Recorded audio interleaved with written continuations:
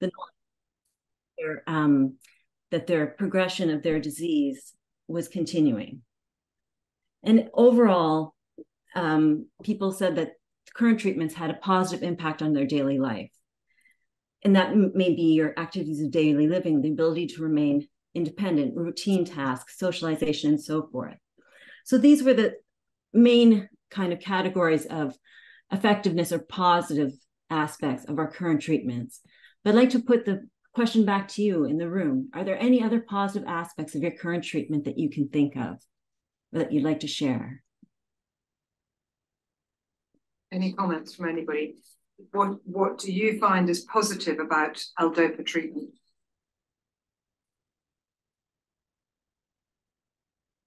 Go on then. Um, the eggs don't fall off my fork when I try to eat, you know. um, so I guess it's some minor things like that for me. I just started L-DOPA about three months ago or four months ago. So I had this diagnosis for two years, but um, I get I think I respond most to the uh, feeling normal. That there's an interior feeling that you can't really I can't really articulate very well. You I can see my tremor go away a lot somewhat. But more importantly for me, I feel more normal in inside. Um, mm-hmm but I think exercise is probably a bigger deal for me than L-DOPA. If I had to give up one or the other, I might give up the L-DOPA. right. Very interesting. Alicia. Decrease in panic attacks. Okay. Mm. What was that? A decrease, decrease in panic, panic attacks. Decrease. Yeah. I would agree with that. Yeah. Interesting. And so not from a symptom, but from just the availability, it's it's a drug that's uh, you're not going to have to fight an insurance company for. Um, so it's an yeah. easy drug to get and take compared to some of the newer ones. Right, and that's that's something that is also a, an issue because a lot of countries don't have this drug available on a consistent basis. So a lot of these positive aspects that we're taking, uh, that we're talking about, really aren't readily available to a large part of our populations globally. Any other? Oh, yeah. I, I would say a similar theme would be uh, just the convenience. It's not it's not an infusion or an injectable. It's it's convenient and easy to take. Yeah, I have, I'm scribbling notes at the same time, everyone. By the way, pretty low cost. Yep, that comes back into the insurance question, doesn't it? Very true. Yeah. Any other benefits? The opportunity to self-manage yes. your illness too. These are all really great observations. Any more from the room? Any other comments? Okay, Soania, back to you. The next slide, please. So then, of course, they came the time to discuss the negative aspects of our current treatments that are available to us. And one that was really that came up quite consistently and a lot, and probably the one that you all relate to, is the inconsistency and unpredictability of the medications that we have. The frustration that comes with not finding that optimal dosage regimen that consistently works well, that we can actually count on the variation in effectiveness, which is the second thing on this list, really had to do with brand name versus generic, what was covered, what was not covered, and the difference that people felt in the in terms of the effectiveness between brand name versus generic. Then we talked about the duration, onset, and off periods. And this relates to the challenges participants outlined about the delay in the onset of their medications when relief is needed immediately, as in the case of an off period where you're frozen or you can't move. So that delay in, in terms of onset was an issue. Uh, disease progression and how with time the disease pro- progresses and the current medications that we have become less and less effective at controlling those symptoms for those of us that are much further along in the disease. Medication management was an issue that um, a lot of people had, and that refers to the frustration of frequent dosing, the inconvenience it is to pull out your pills and take at, at you know, sometimes very short intervals, um, timing with um, meals and protein intake, all these sorts of little nuances that we really need to take into account when taking our medications. Um, doesn't allow for a lot of spontaneous uh, action. And the side effects, and that's pretty self explanatory. That's the fine balance between the relief of symptoms and the burden of medication side effects, which are sometimes worse than the symptoms that we're trying to treat in the first place. So these are um, side effects was also a very negative aspect of current treatments that people talked about. But again, to the room, are there other net negative aspects of your current treatment that you feel are not on this list or that you'd like to share with us? Any other negative? Yes. I actually feel worse. I think I take it. It You doesn't feel help me worse? At all. I don't have tremors or anything. I just have freezing. It doesn't make me feel good at all. Yeah. Hmm.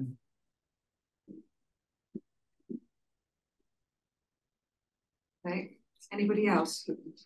Yep. I, I think that would be the, um, every time you add another drug, it's just a whole nother ripple effect that you're not sure of. So it's the uncertainty that you know the disease is gonna progress, so we treat, the fact that we're treating symptoms and not the disease is if you started with the le- levodopa and then you add ropinirole or something like that, you never know for sure how everything's gonna mesh. So it's, it's just an uncertainty of the future. Very true. Yeah, scribbling frantically. um, the, how you, the progression of the disease and how your symptoms change throughout the progression of the disease. You may start off with some symptoms and that you're getting medicine for, and then perhaps you no longer have that symptom, but you're still getting medicine for. So it's hard to discern what medicines you still need as the disease progresses because that may change and it's just really hard to figure out. So progression of the disease and how to match medication to that change. Right, and as your symptoms change, I mean, just because you may start off with tremors doesn't mean that ten years later, tremor is still your big issue. Perhaps that subsided some as something else came and took its place, unfortunately, but perhaps you're not having that same symptom, but yet your medicine is still dictating that you're having that. So I think there's not a good way to um change medicines like without going off everything and then revamping again. You know, we're just always keeping adding, let's add, let's add, let's add, but it's hard to take away.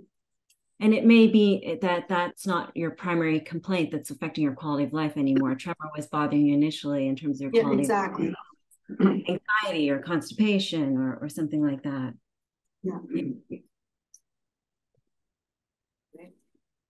Scribble that one down. Who else has got any other comments on this? I would say the very worst side effect we've um had is hallucinations. Yeah. And it it's, you know, when you list side effects, that's just one of those, but that took a long time to resolve. Um, Uh, and I think that it's the impact that that in particular has on everybody around as well. yeah, it it's tough for the patient though, twenty-four hours a day, thinking someone's after you or or being in fear.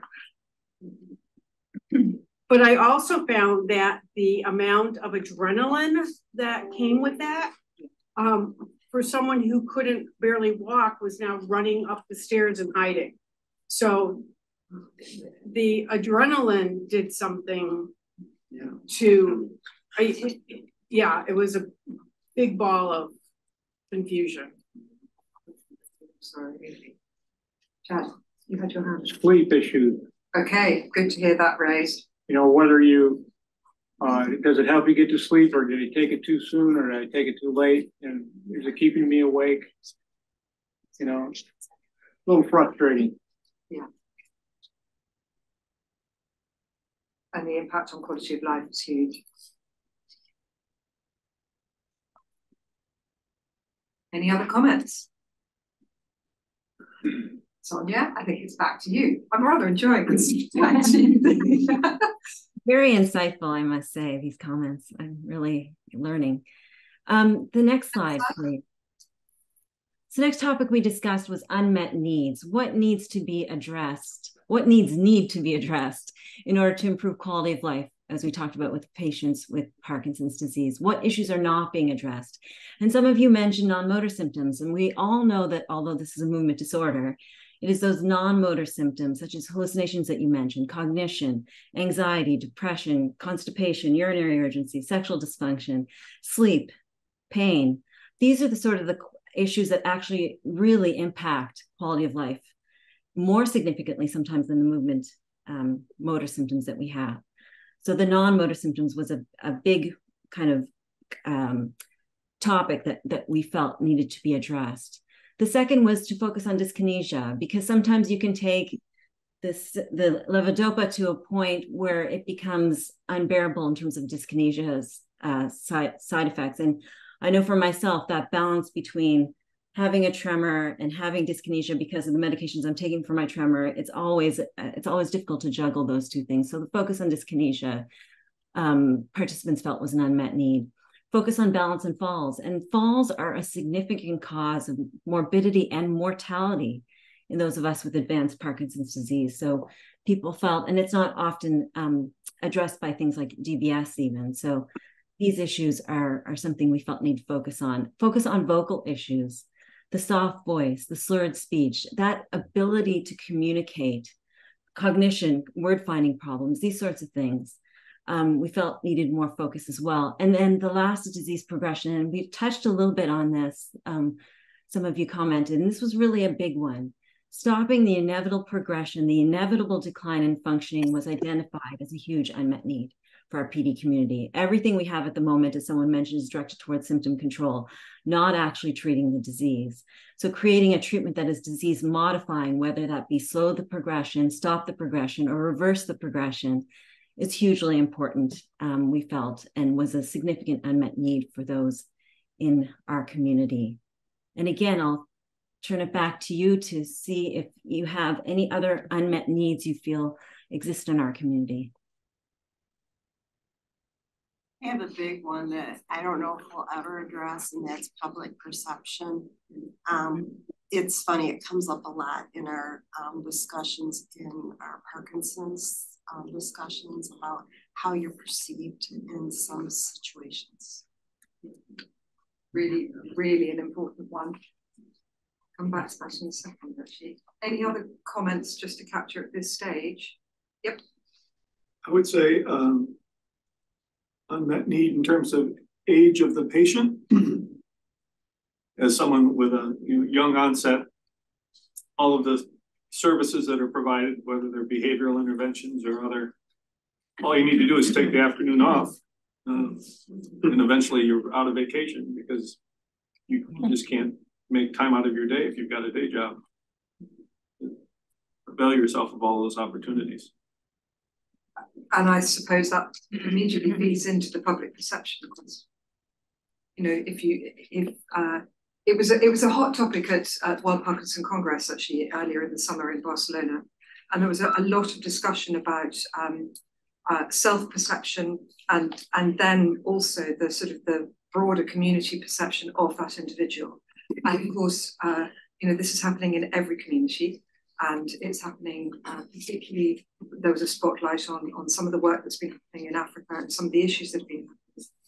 and uh, uh, there will be an, an, opportunity to see a film that's very much talking about this that you know Parkinson's is not witchcraft and and some you know that's an extreme example of this but the self-perception and the the community perception of the individual is massively important and, and hugely important on, on impact on quality of life.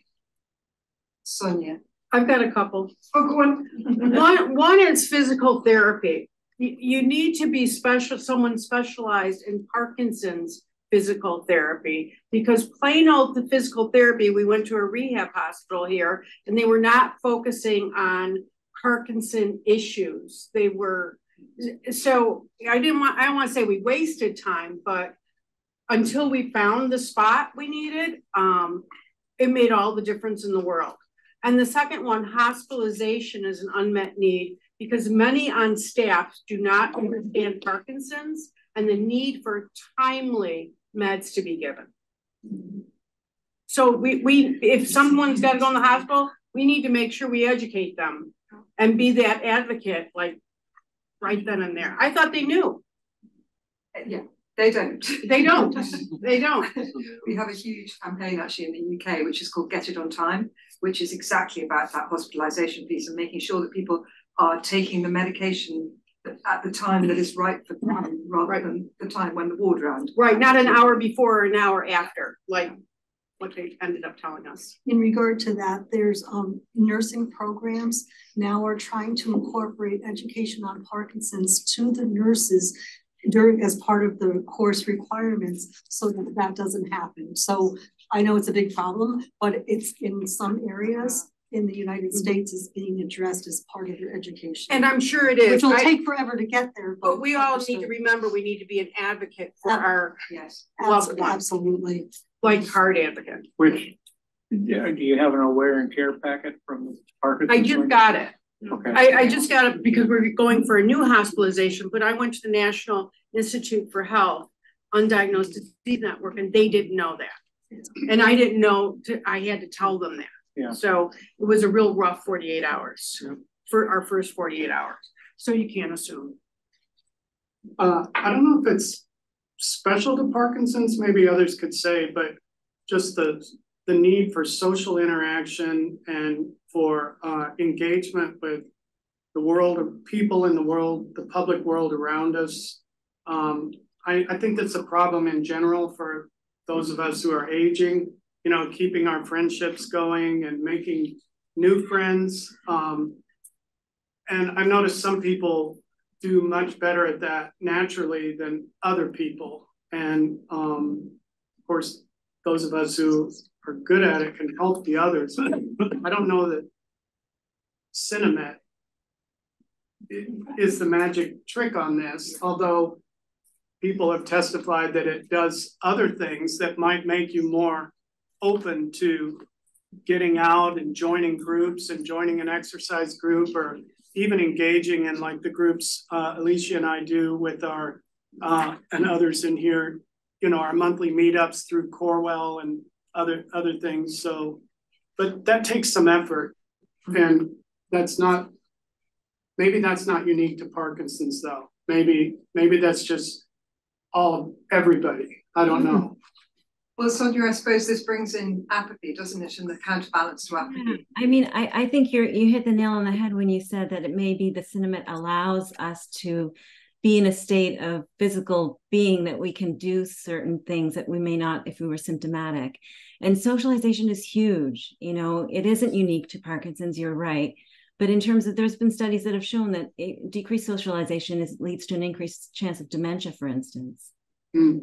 And um, so there's really significant. I watched a documentary on Netflix about centurions and, and people that live over 100 in different communities across the globe. And one of the, the common threads was socialization. The people who live longer and live well longer have a good social support network and they socialize with others. So it, it is a, a big, big ticket item for sure. It's certainly a, a prerequisite almost for being happy. I think Yeah. just you know you're happier when you're making friends and being with your friends. Yeah, that's why I wish I was there with you guys. We're running here too. if you can go to the next slide, please. We took a deeper dive into the disease modification that I just I spoke about um, when we looked at unmet needs. Um, what does it mean? What does it mean to everybody? Because um, someone alluded to our experience of this disease is very unique and individual, depending on the age stage of, of life you're at, how quickly your symptoms are progressing, the social network that you have, et cetera, et cetera but you know people were saying that they would almost do anything in terms of risk for treatment if it would be disease modifying so this was a, a big issue if you go to the next slide I, I wanted to talk to you about that. Do you feel and experience change in your disease and how do you measure that change? So for instance if someone was to set up a clinical trial looking at whether a treatment was disease modifying how would they measure that in in terms of your life? How would they be able to tell that it was improving or not improving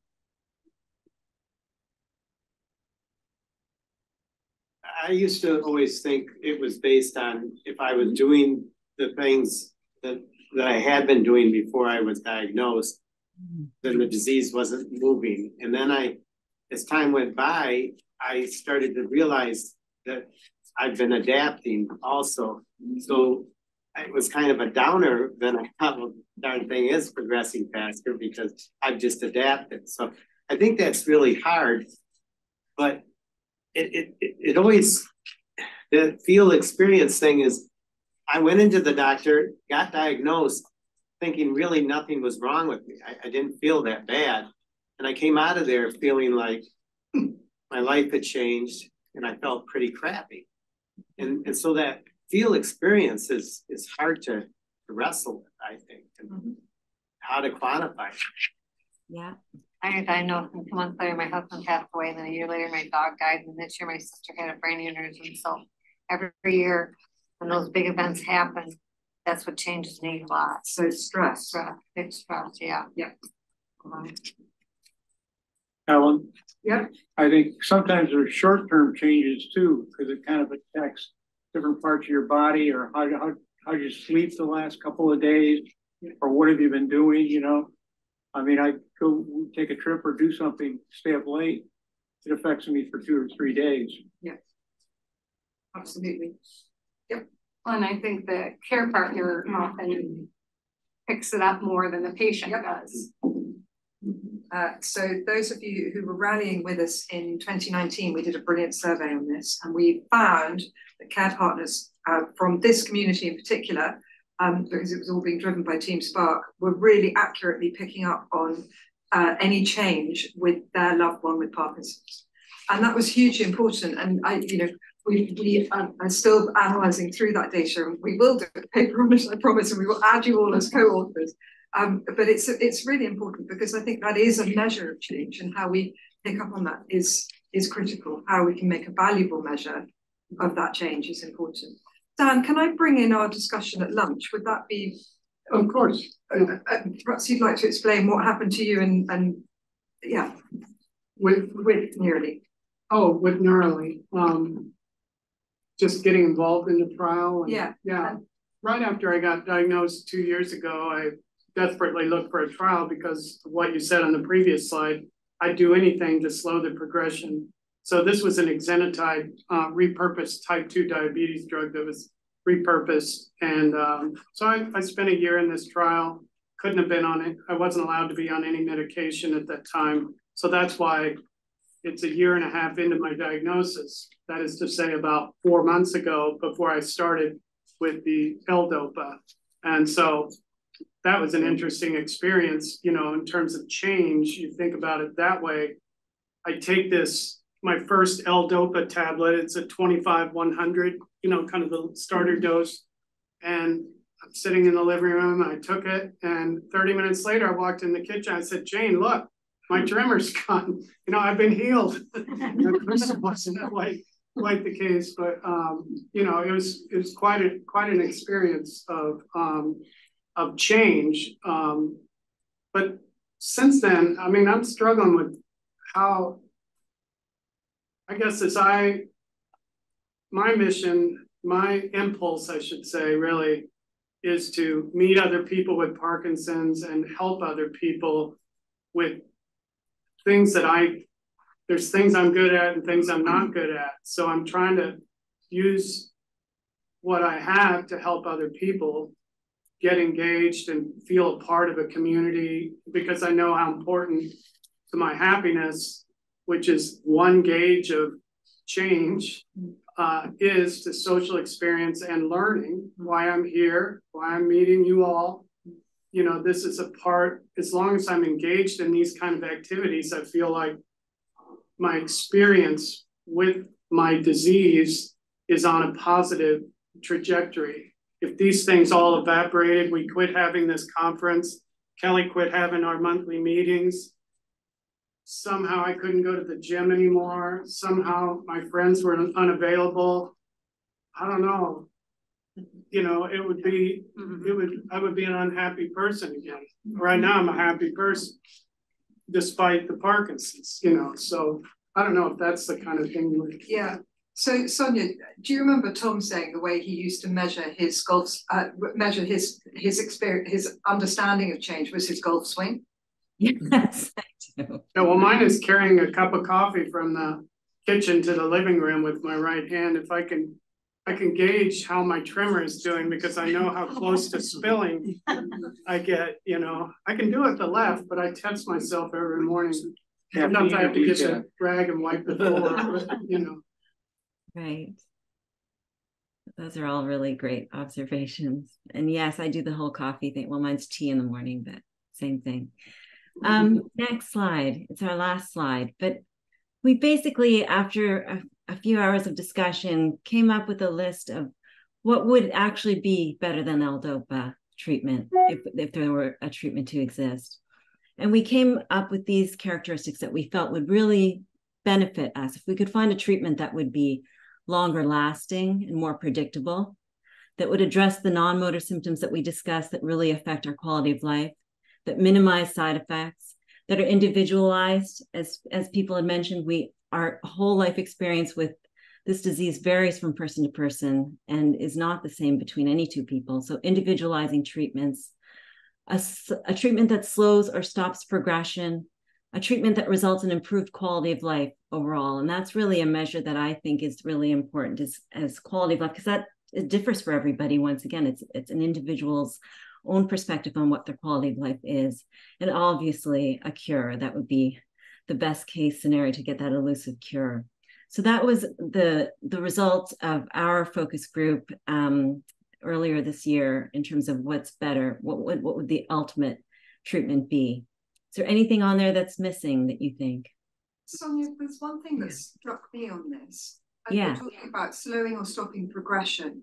Yeah. But because progression is such an individualized thing, how yeah. do you evaluate that change on an individual basis? And I mean, in terms of drug development, that's a nightmare because no regulator is going to go, oh, look, Soania got better. you know, you need to have the aggregated score. Yes, no, that that I think is really important, and that's why I think there are certain quality of life me- measurements that we can make that sort of take a little bit of that individuality into consideration. So those outcome measures might be something to look at. But I agree, it's it's a it's a tough nut to crack, that's for sure. Just do the cure, that'll be the simplest. I think sometimes you're not aware of the extent of the progression unless you um, withhold treatment or yeah. turn treatment off. Yeah. And, you know, it's eye opening for me when I miss a dose of my medicine yeah. and notice the return of symptoms. Yeah. Or if I'm in my doctor's office and he turns off my DBS. Yeah. And I really see how bad my tremor is without it, you know. I think that's very true. It's really too bad that you can't bottle the effects of a good night's sleep. Sleep is a huge, huge issue. Patrick and I were talking about that over lunch. yeah. That progression thing is kind of like minimizing the progression of your car going. What am I trying to say? You know, your car degrades over time. If you never changed your oil, see how long your car will run. But we change our oil regularly on, on faith and trust in the science that it's our car's going to last longer. I mean, that's kind of what this progression is about. We we want something that science and that we can trust is slowing it down, even if we don't have in the moment evidence that it would have, because there's no way to prove that it would have been, we would have been further down. We just trust the science is telling us you're better off with this, just like we trust car maintenance makes our car last longer. Turn the odometer backwards. Yeah. I, I think you probably have had some lectures already about things like biomarkers, and I think that's yeah. probably right look at in terms of outcome measures. If we can just prove that a drug reverses a biomarker, which then helps to stabilize the disease, we'll be all set. Fantastic. Soania, thank you very, very much indeed. My pleasure. Thank you.